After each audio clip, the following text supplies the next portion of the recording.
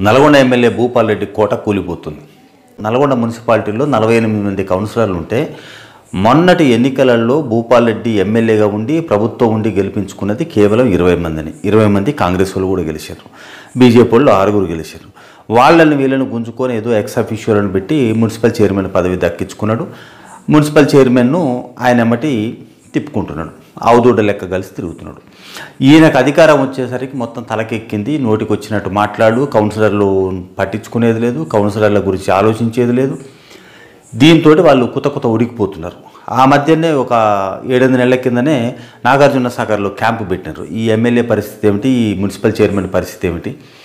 వీళ్ళతో ఎట్లా వేయగాలి వీళ్ళని ఏదో వదిలించుకోవాలని వాళ్ళు పెట్టారు తర్వాత అప్పుడు నల్గొండలో ఉన్నటువంటి బీఆర్ఎస్ పెద్దలు కొంత మధ్యవర్తిత్వం వహించి సర్దుబాటు చేశారు. అయినా భూపాలరెడ్డి మారలేదు. ఇప్పుడు ఎన్నికల టైం వచ్చింది. ఇక వాళ్ళు కుత కుత ఉడికిపోయి తట్టుకోలేక సెల్లులు స్విచ్ ఆఫ్ చేసుకొని పెట్టుకున్నారు. కోమటిరెడ్డి వెంకటరెడ్డి ఏమో రెండు రోజుల నుంచి వచ్చి ఈ- ఇక్కడ తీసేసిండు గ్రౌండ్ వరకు బాగా చెప్తున్నది. సో వీళ్ళు మొత్తం కాంగ్రెస్ ఫోల్డ్లోకి వెళ్ళిపోయారు ఇదే కాకుండా మరొక ఎనిమిది మంది కౌన్సిలర్లు కూడా అదే బాటలో ఉన్నారు.